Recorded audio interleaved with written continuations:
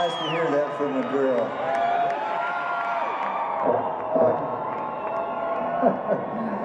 oh, well, you know, this is the first night of the American tour.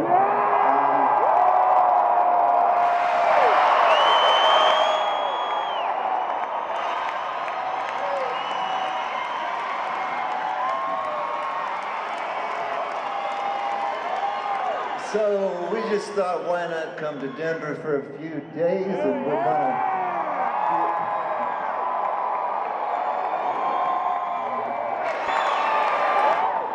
Yeah, we got a lot, a lot, a lot of songs for you tonight. We're gonna play you some.